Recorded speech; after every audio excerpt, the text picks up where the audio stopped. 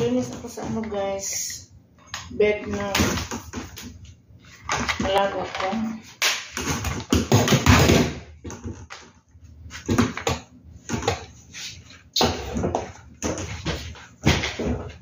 So,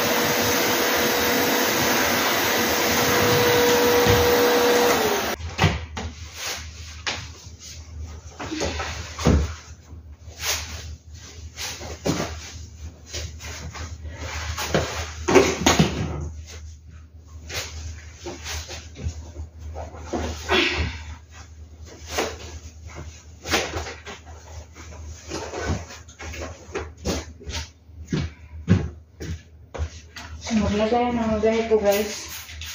Para bumango yung bed.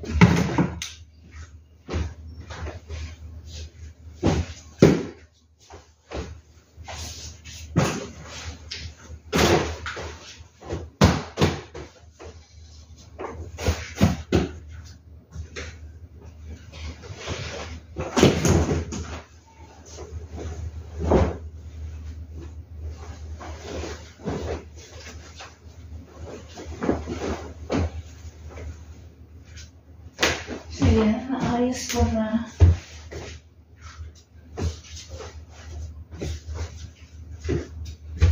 O, diba? Para bumango naman yung room niya. Lagyan ko siya ng, ito guys, down ito guys na may, ano, sodium bicarbonate.